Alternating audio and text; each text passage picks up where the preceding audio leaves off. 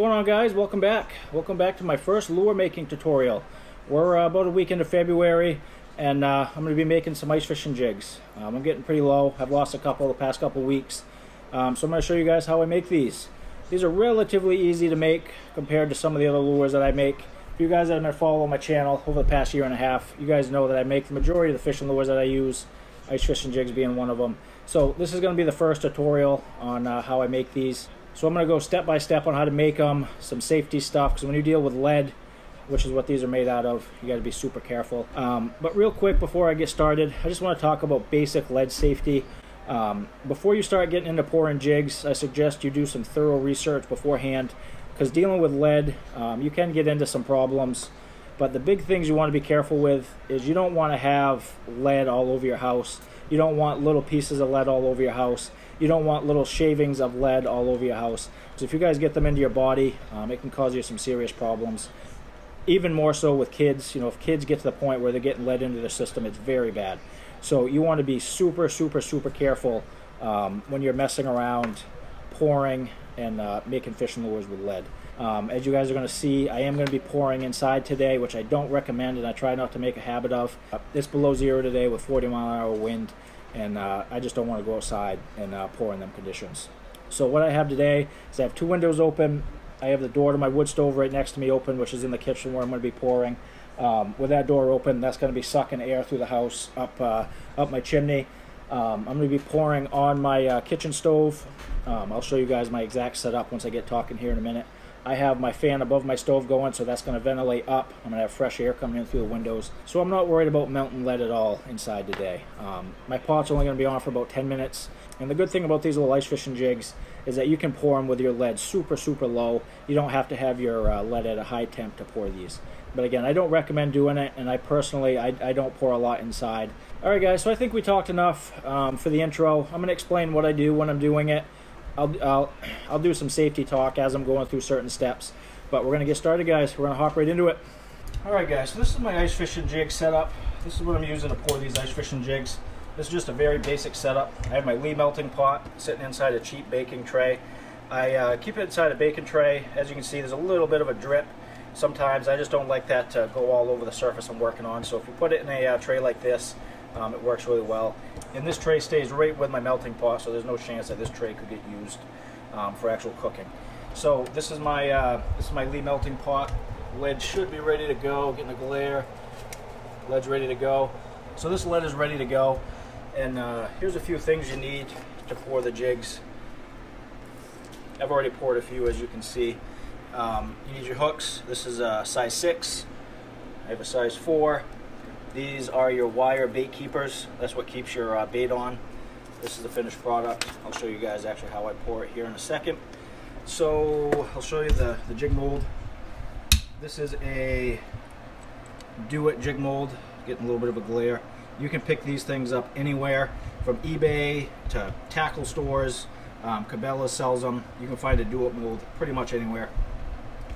So this mold I'm going to be running today, I can pour anywhere from a 1 16th to a 3 eighths. So I got 1 16th, 1 8th, 3 16th, quarter, 5 16th, and uh, the 3 eighths. And all these molds tell you what size hook you should use. I do kind of vary them a little bit. Like with this, uh, see if I can get it focused, the 1 16th, so you should use a number 4. I'm going to be using it with a number 6.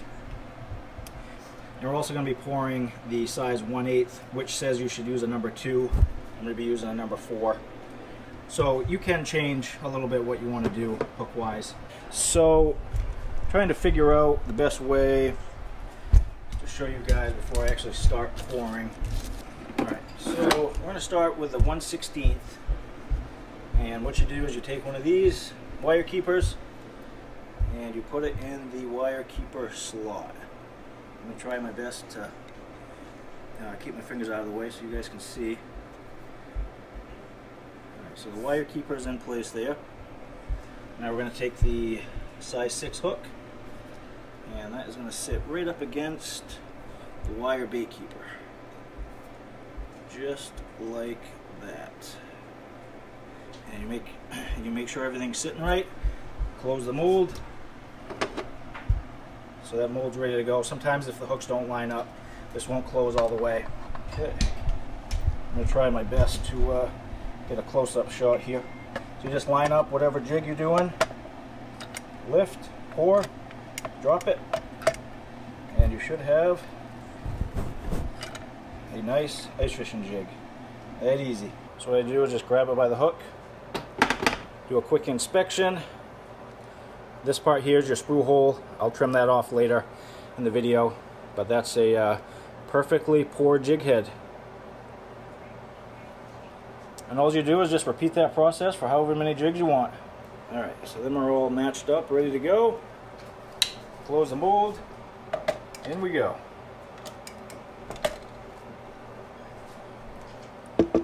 Another perfect ice fishing jig.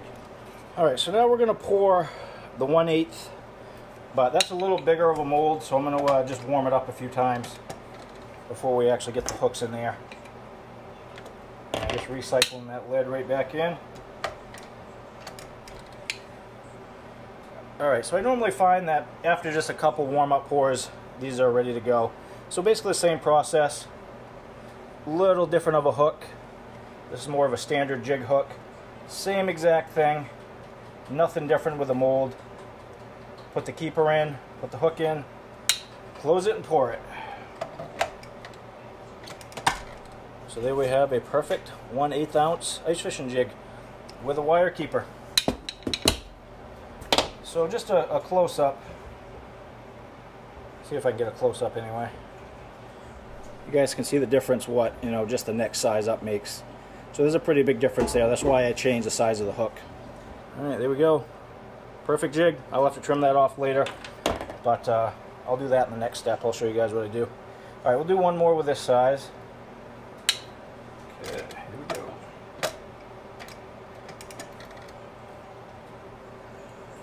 Comes out perfect just about every time. And I try my best not to touch bare lead. That's why I use pliers. Um, like I said earlier, lead can give you all kinds of problems if you uh, aren't careful with it. This setup I have here, I'm not using gloves because I'm using my bottom pour.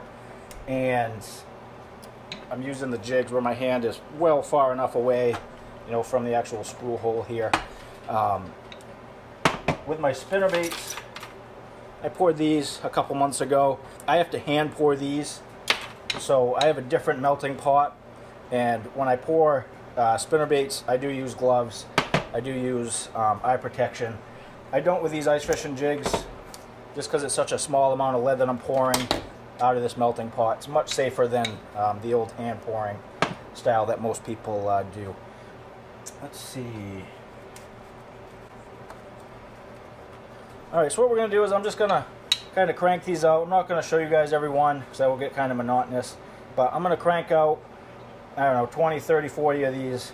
Then I'll catch back up with you guys. And if you're new to pouring lead, um, lead will develop what's called slag. If you can see on there, it kind of looks chunky on top. What you have to do is get that, that top layer off because that will just sit on top and build up and build up and build up. And if you run your mold down low enough, it'll actually get in the uh, drain hole and cause you a bunch of problems. So I'm going to clean that off with a spoon. And I keep a uh, little container here that I dump it in. And for this part, I am going to wear gloves. Anytime I get real close to the lead or potential of dropping lead on my, my hand, I, I'll put gloves on. And what I'm doing is kind of rubbing the sides. Just kind of scraping the sides, you know, getting all that stuff off.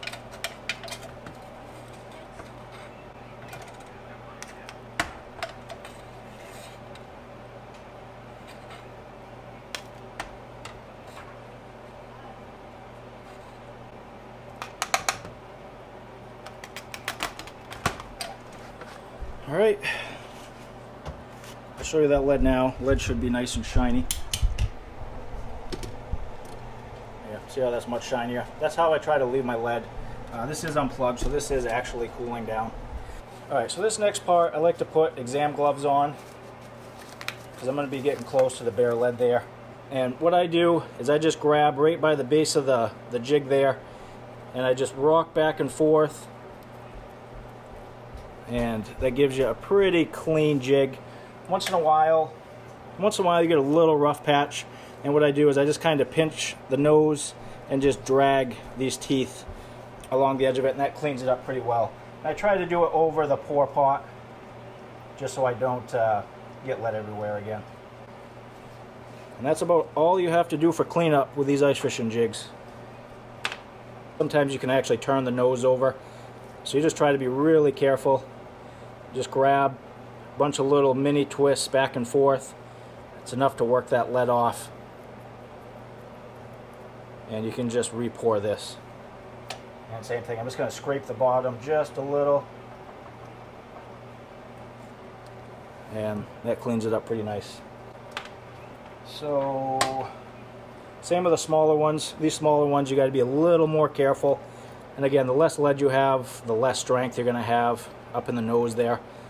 So just grab, twist, really easy. A little easier than I did with the other one, just because it's a smaller jig. And that, uh, that actually trimmed up really well. Just a little bit of a scrape and that'll be good to go. It's probably not showing on the camera because these GoPros don't focus well, but that jig is ready to paint. Alright, so here's one I was finishing up. You can see that one has a little more of a um, an area there I'm going to have to trim off. I should be able to scratch that off, but that one didn't twist off quite as good as the other ones did.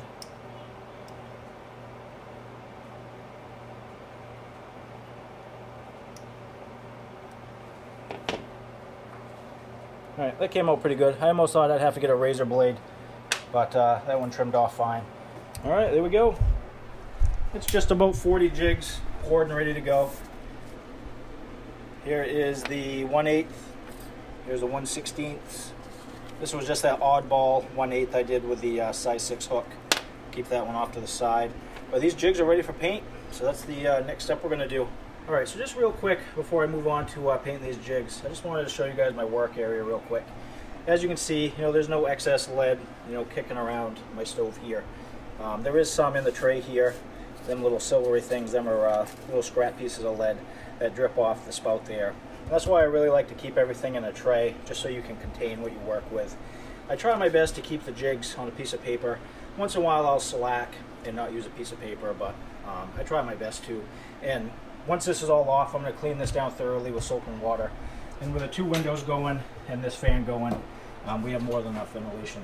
So I just wanted to mention that real quick. As you guys can see, um, this workstation is completely clear. You know, I try my best not to pour inside, but I needed to get some jigs done and it's too cold to do it outside and too windy to do it. So um, if you take the proper precautions, you can pour inside.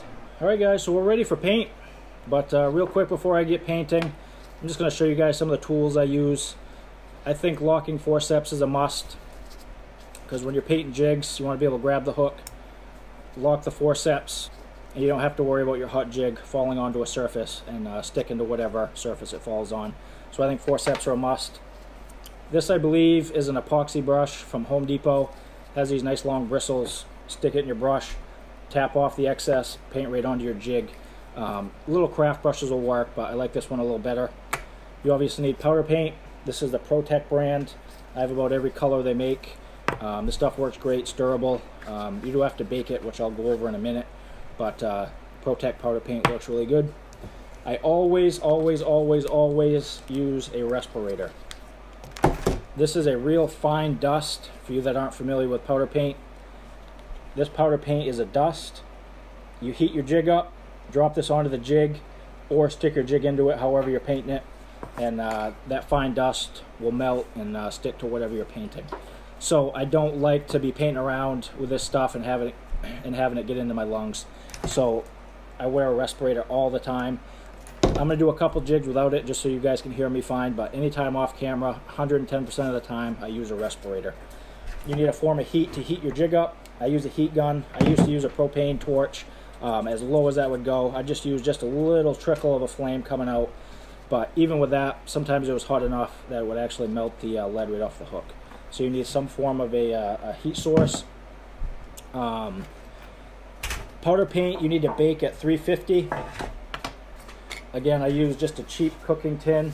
I did have a like a little grill rack I put over this and uh, would hang the jigs from that grill rack, but I can't find it because my house is torn apart right now. I'll uh, show this in the next step after we paint. all you need is just something to hang this either in an oven or like a toaster oven. So what I'll do is I'll line up five, six jigs, put it on the, uh, the tray here, put it right into the oven, and uh, that'll bake fine at 350. So I think that's pretty much all you need for paint. Um, as you can see, I have gloves on. These are the same gloves I had on earlier. I like to keep that paint off my hands as best as I can. And, uh, you know, when you're grabbing jigs, you're always kind of grabbing them and, and uh, manipulating them. So I like to have gloves on for this part too. But uh, I think that's pretty much everything you need. Again, I'm going to do a couple without my respirator. But again, I use that 110% of the time um, whenever I do this off camera. So what I'm to do is I'm to heat this jig up. Um, I'm to heat it up for probably 10 seconds from the bottom. I'm to drop on some white because I'm to be doing a rainbow trout color jig, which is uh, one of my favorites. Um, I love that rainbow trout color. Up here in Maine, it works good. Um, for ice fishing jigs, it's my favorite color spinner bait. It works really well. So I'll show you guys how I paint that. Um, what I'm to do is I'm to heat up the bottom, drop some white on, heat up the side, drop some pink, heat up the top, and uh, drop some watermelon. Um, I'm to try my best so you guys can see what I'm doing. These GoPros don't pick up good focus up close, so I'll, I'll just do the best I can. So I think we're ready, guys. We're going to get right into it. I'm going to pull you a little closer, so you may lose my head here, or part of my head. And something else real quick is I like to um, I like to paint on a piece of paper, so I just don't get this paint everywhere. All right, so we're going to get started. So I'm going to heat the bottom, and I always try to keep the jig pointed away from me, because if I keep it up like this and it does drip, it could drip down onto my fingers. So anytime it's under active heat, I try to keep it away from me. So here we go. We're going to heat up the bottom.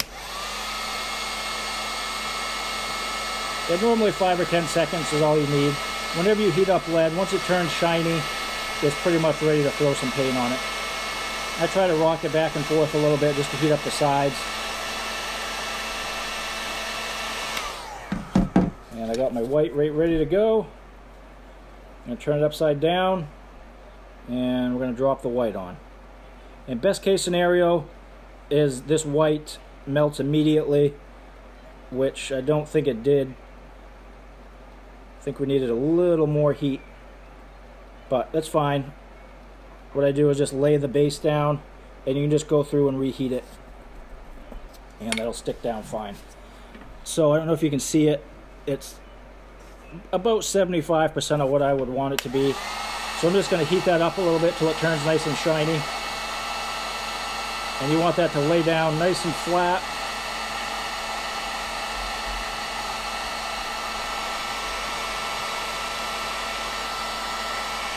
All right, what we're gonna do is just wind some heat to it for another uh, five seconds or so till it turns nice and shiny like that just did. Again, I'm sorry if that's not focusing, but you want that to turn nice and shiny. So we're gonna heat from the top, and we're gonna drop some uh, pink onto the sides.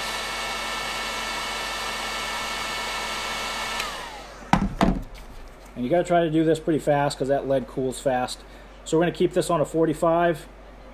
Going to paint from the top down. That'll cover the sides.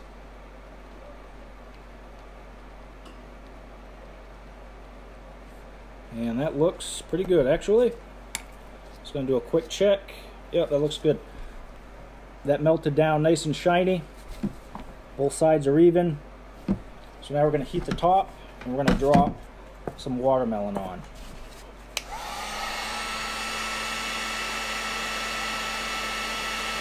Again, trying to keep the lead away from my hand in case it does drop. It won't drop onto my hand.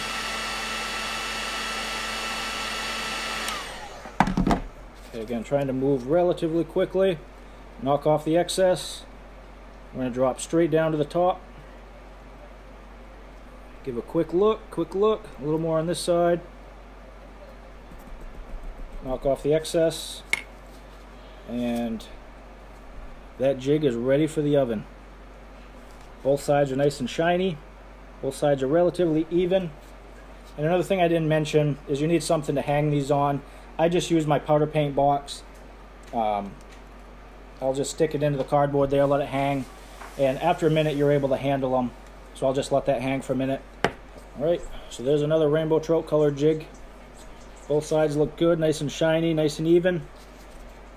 And I'm not going to move the camera, but I'm going to put this over on the hanger there. Alright, gonna get these colors packed up.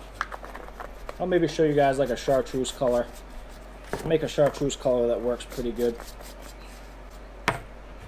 And for that, I'm going to use a fluorescent orange. And we're going to use a chartreuse. And I'm going to put a, just a little bit of black on top. Just to add a third color to it. And when I'm powder painting, I like to have everything ready to go. Just speeds the process up a little bit. And this one, and this one I'm going to do chartreuse on the bottom, orange for the sides, and a little bit of black on top. All right, same thing, heat. Okay, I'm gonna get the chartreuse in. And some of these um, colors do melt down better than others. The white I find never melts down quite as good as like the chartreuse does. Never does quite as good as the orange. For whatever reason, that white has never laid down quite as good as some of the other colors. Okay, perfect. Alright, there's a chartreuse. Laid down pretty good. We're to heat from the top and then put the orange on.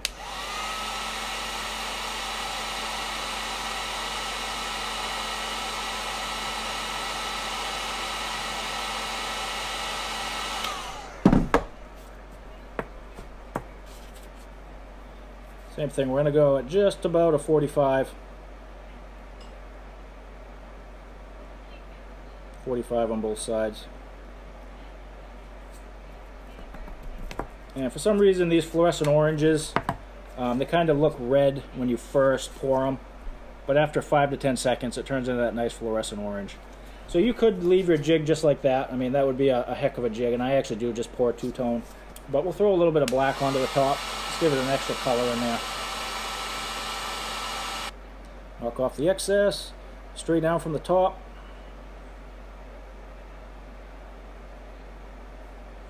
We go. That's just kind of a chartreuse with a little bit of a black top on it.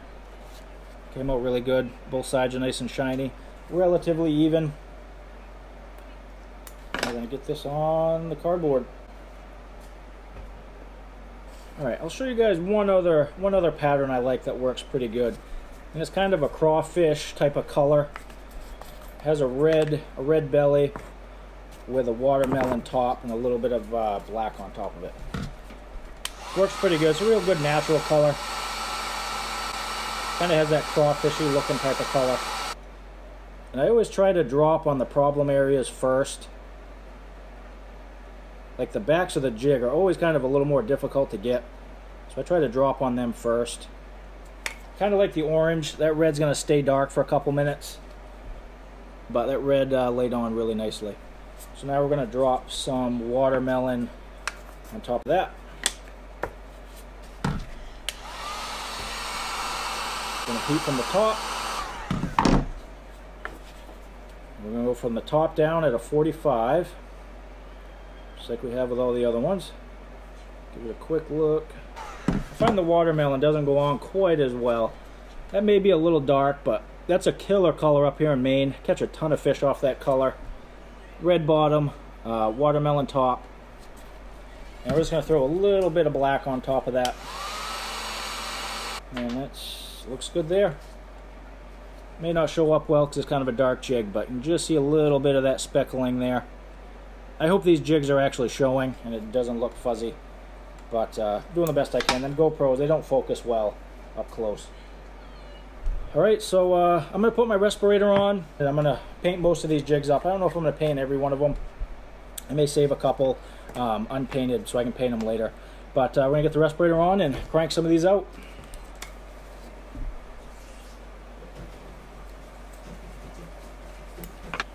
I'll show you guys one more color that uh, I really like up here in Maine. Works good for jigs uh, and spinner baits as well. I'll show you guys one other one. And it's a white belly, chartreuse side, and a little bit of uh, black on top. Works really well. Catch a lot, again, both winter and summer on it. I don't really know what it imitates or what they think it is, but just a color that works really well for some reason. Here we go. I don't know if you're going to be able to see the detail that well, but it's a white bottom, chartreuse side, and a little bit of black. Fish just really seem to like it up here in Maine. Definitely one of my favorites. Alright, I'm going to get back to the respirator.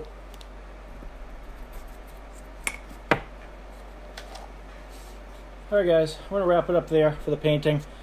That's the 1 16th ounce uh, rainbow trout. I finished with that one. It's one of my favorite colors, like I mentioned earlier. So the next step is baking them. So I'm gonna get this paint taken care of, then I'll get the uh, jigs in the oven. And I don't think I mentioned uh, about the eyes. I'm gonna put eyes on them too. So once they're done baking and cooled off, I'll, I'll put the eyes on. So again, I normally have a rack I put on these, but I couldn't find it um, with the renovations we're doing. It's uh, MIA. So we're just gonna use some of these stainless steel wires that I have. And all I'm gonna do is just take these jigs, and I don't need that on now, so I'm not gonna be touching raw lead. What I like to do is give these about a jig length away from another one, just so when they swing, they don't touch each other. One more.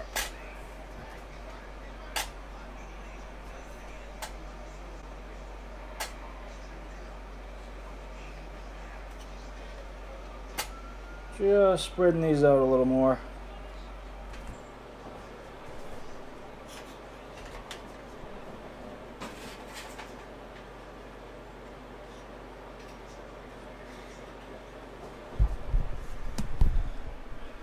And there they will sit for 20 minutes.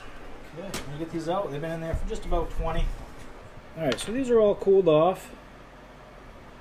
I did have a couple that slid, but thankfully they didn't stick to the other jig.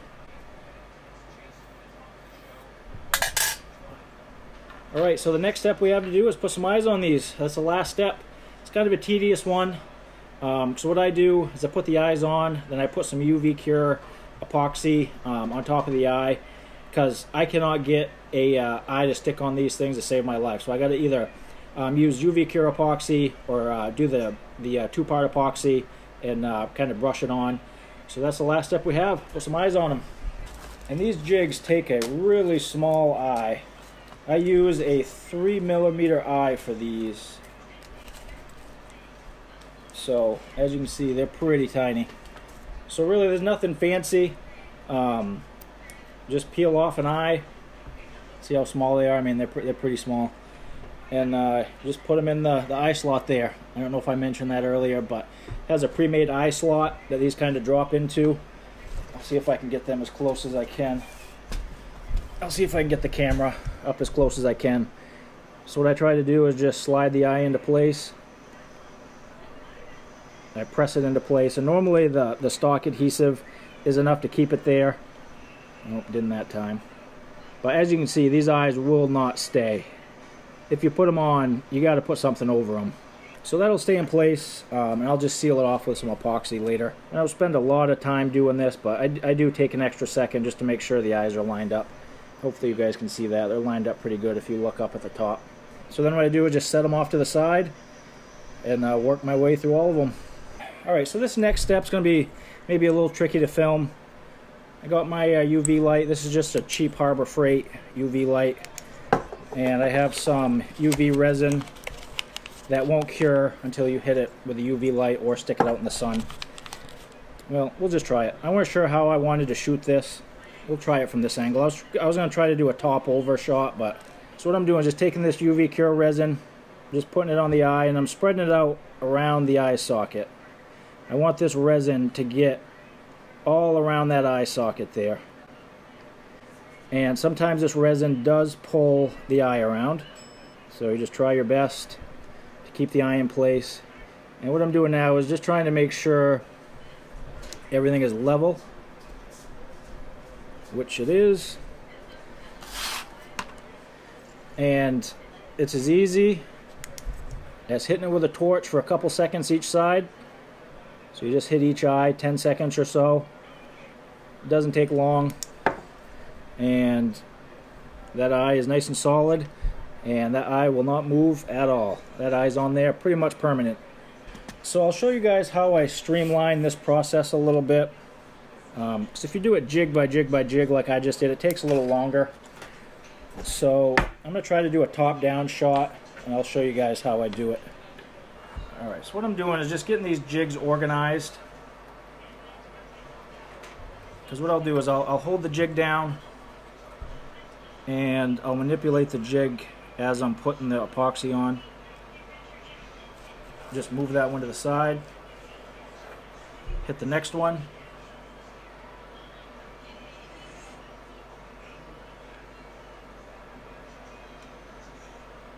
That I wanted to lift. And what I'm trying to do is put these jigs in a circle once they have the epoxy on them. Because what I'm going to do is just try to hit these all at once with a torch. That way I don't have to do it all individually. Okay. So them are all epoxied. And this is where you save some time. You can come in with your torch and hover right over these and you can get all of them pretty much all of them all in one one shot there get them close together so they're closer. So what I do is I'll set each one from a distance and right now they're already solid they're still a little tacky. Then what I do is I come in close and I'll sweep right over them a couple times. And that really sets that epoxy. And what I found is it's rare that these eyes will move when you uh, fill them in with epoxy and I used to use the uh, two-part epoxy which works fine. I just don't like taking the time to wait for them to dry. Yeah that'll work. Alright so there's side one. That one's good that one's good that one's good. Alright they're good. Alright guys so there you have it. There's a nice batch of handmade ice fishing jigs. Them eyes look good. They're not tacky. You know, them eyes are very unlikely to come off. I don't like to say never, but uh, them eyes um, stay on there pretty well with that epoxy. But uh, this is just the first of my uh, lure making tutorials. I'm going to show you guys how I make spinner baits, bass jigs, uh, trout spinners, pike spinners. Um, I'm going to show you guys how I paint my uh, trolling spoons and casting spoons. I'm going to get into painting crankbaits here pretty soon. I'm going to try carving some big swim baits. Um, so that'll be coming in the next month or two. If you guys have any questions about how to make these jigs, feel free to leave a comment. I'll try my best to answer them. If you guys have any other questions, feel free to fire away. But we're going to sign off on this one, guys, and we'll see you soon.